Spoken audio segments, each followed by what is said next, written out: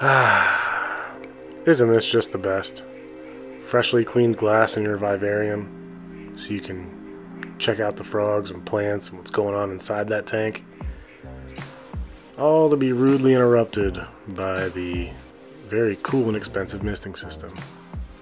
That puts a lot of water into your tank and a lot of humidity, and the animals and plants love it. And the only people that really suffer are you and me trying to look through that tank because now it's full of condensation and fog and you cannot see through it.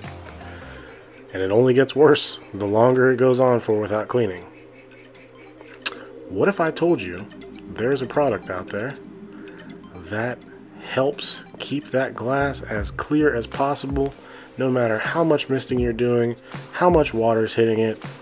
If you've got them in a rain chamber, if you've got a paludarium where water splashes up on the glass all the time, Think you'd be interested? I know I would be. And that's what we're going to talk about in this video. So stay tuned.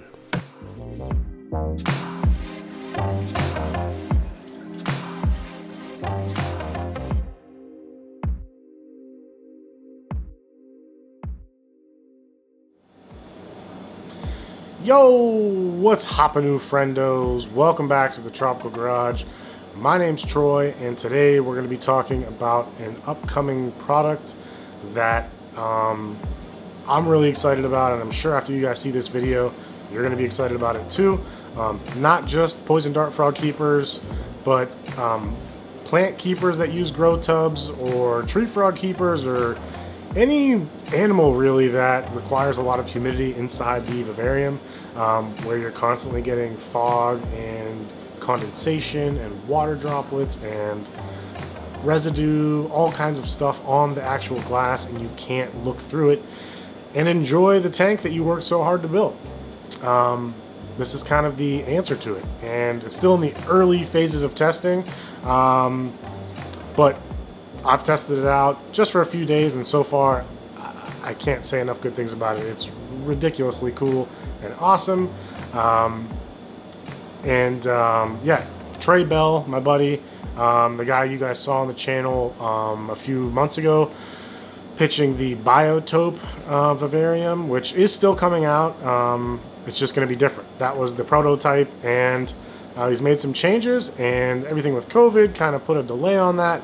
So um, it is still coming out, and you guys will see that, I think, middle September uh, is what he's saying. But Trey was just up here this weekend, so he brought me a couple products he wanted to talk to me about, and see if I'd be interested in making uh, a video on it. And once I saw it, I was like, oh, yeah, dude, I'm making a video on that. That's it's freaking awesome. Um, so basically, it is a glass film. Um, it goes on like window tint or anything um, that you're putting on glass. Uh, this isn't really tinted per se. Um, it's basically clear as you guys saw in those little clips early in that uh, intro. It's it's got protective layering on both sides of it. Um, so when you're, you know, measuring it for the glass, you just set the glass on it, cut it out. Um, we, I recommend leaving um, a little space. Like, you know, if, if your glass doors, say it's mine are uh, 17 by 11, um, I would make it like 16 and maybe even three quarter um, by 10 and three quarter. You know, basically have a quarter inch, um, you know, an eighth of an inch on top, eighth of an inch on bottom, uh, eighth of an inch on side and side. Um, just so if you've got tracks like me, sliding door tracks, you allow space where it's not going to hit that tint and make it want to bubble up. Um, I mean, I'm sure people thought about it before, like Rain-X or something on the glass, but you don't want chemicals or anything. And it was originally originally made for you know protective masks, um, like clear masks, so humans can wear them. So it's it's non-toxic or anything like that. There's no um, it's not like window tint in the fact that after you have it on and you try to take window tint like on a car, you try and take that off, there's a strong adhesive and you pretty much have to razor blade it off. This, from what we've seen, I've had it on, one of them on for two days, um, it peels right back up. Um, and if, if you need to get, if you've got a bubble or you've got dirt or something in there, a hair, you can get it out and then reapply it. Um, you don't have to worry about that glue really like adhesive really setting in. Uh, I would compare it to like screen protectors on iPhones or iPads or smartphones, I guess I should say. Um, you know, or like the tempered glass that you put on and it sticks on that glass. But when you take that tempered glass off, or if it cracks, you take it off. There's no residue on the on your actual phone. Um, so I would compare it to something like that. But Um, yeah, it's a really cool product. I've already been talking for far too long about it, so um, I'm going to show you guys. You know, I skipped forward uh, cutting cutting it to size. I mean, you guys should be able to figure out how to cut the cut the clear adhesive or the, the clear film to size to fit your door. Um, so I really just filmed us um, applying it to the glass. The the left panel of glass has no film on it. The right panel of glass does have the film on it. So um, that's it for this intro. Uh, it's way too long. I'll probably cut some stuff. And uh, yeah, I'll see you guys in the outro in, I don't know, a few minutes. So um, enjoy this part of the video. Guys, on to the installation portion. We have the glass turned inside out and you do want to wipe it down with something that's not going to leave fibers or anything like that, dust particles. So uh, we've got that turned inside out. You want to spray it down with some water. Good old-fashioned H2O. This is reverse osmosis water. And Trey Bell there is going to peel off the protective layers of the film. It's a, Lexan film, I believe. That's dumb. I don't know why I said that, but I did. So, um, as you can see here, he ever so gracefully peels off that protective coating. And uh, yeah, basically you're just going to, uh, you can also spray down the, the coating as well as we did, just so it's uh, just you, you've got some play for smoothing it around. And you see that it just kind of goes right up on the glass. And uh, you're to have some air bubbles and water you're to need to squeegee out. So do so. And just press out press it out from the center up to the edges using the corners. Um, also when you're squeegeeing it we uh, sprayed some water just so it could have some something in between. Um, you're less likely to scratch the material by doing that. Um, on a side note I will say the squeegee we use we just picked up from Home Depot or Lowe's. It's just hard plastic. It's for like wallpaper. Um, we don't recommend something like that. You're to want something with like a silicone edge or something that's, you know, fabric coated on the squeegee side, which like the edge which you're using to smooth out the film, just because this is a transparent film. And uh, it will leave little scratches you can see. Uh, I'm not too worried about it. This is, you know, light years different than my uh, glass that I've been dealing with uh, on this particular tank. So um, just a side note to you guys, uh, and I believe Trey is working on something of getting a basically installation kit that'll come with this. You know, some sort of uh, razor blade and um, you know a squeegee for this actual application. So when he does launch this product, it should come with that. Also, when you're uh, wiping the like trying to dry off the film, um, you will see some little white looking suds that's what the water does when it hits this film. It turns into very tiny bubbles. Um, and you can kind of see here as he's wiping it, you'll see those little streaks, but they disappear. You see the water just kind of dissipates and uh, disappears into thin air like magic. Um, also, you, if you get any bubbles or there's like dirt or hair or anything, the film, as you see here, Trey uh, lifts it up very easily and removes whatever was causing the bubble and just smooths it right out. Um, it's not like some of those tints that when you start smoothing it, it sticks really hard. Um, you know, this, this pulls right up. It doesn't leave that uh, adhesive like most window tints. Um, and you can see here, Trey's just uh, trying to get it as perfect as possible, smoothing it out, and uh, now we are going to reinstall the door. And he's being very careful with my tank. I am way more rough on my stuff, and uh, but you know I mess with these tanks every day. Trey, uh, I don't know how many times he's opened this tank, but not many. So he's being a little more careful because it's not his and it's mine. So we've got both installed. You can see there, there is sort of a color difference in the right side. That's the side with the, the film on it. Um, slight clarity difference from the plain glass with no film as opposed to the side with the film. Um, so we're just we're spraying it and um, we're gonna see and show you guys real time. Um, I kind of speed things up and do some cuts um, just to show you. You know, I don't want you. Sure, you guys don't want to sit here and watch. Uh, it's like watching hair grow. Um, so yeah, you'll see that the left panel starts to get lots of condensation while the right panel looks pretty much the same as it did before I started misting. Um, and it continues to get worse and worse and worse. So um, really cool to show you the side-by-side -side difference.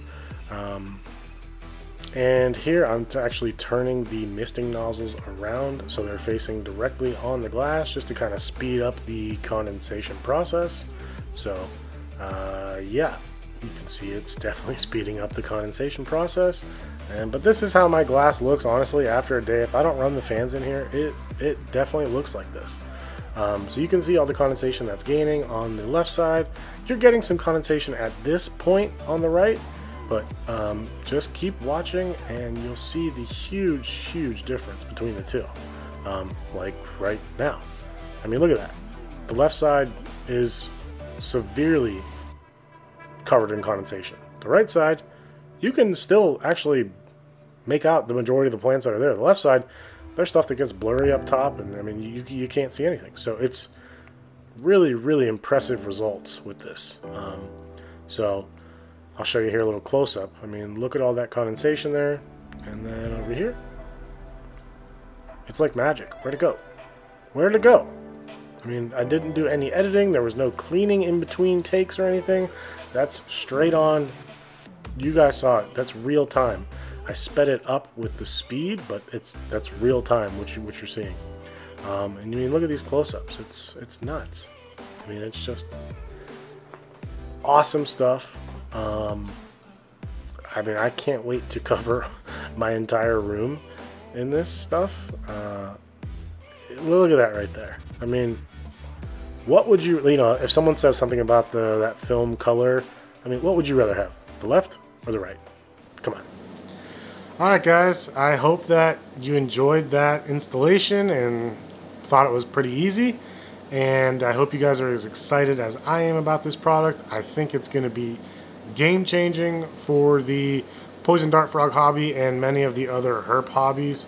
Um, I think it's going to be something that everyone's going to want. Um, so, I mean, why, you know, we get these animals because we really do love them and you want to watch them and see them and see their behaviors and everything. And when your tank is covered in condensation, you can't really do that the majority of the time. So now we should be able to um, all along while having super humid tanks. And if you want like breed, if you're simulating the breeding season or, you know, the wet season, um, you're still going to be able to view them, which is awesome and uh, yeah, it's a, it's I just think it's really cool. Um, a couple things about the product. Um, so the way it keeps water off it is it's hydrophobic, which just means water does not want to hang out with it. Um, that's the the my version of it. Um, there's a much more scientific and big worded version, but that's my version. Water doesn't want to hang out with it. Um,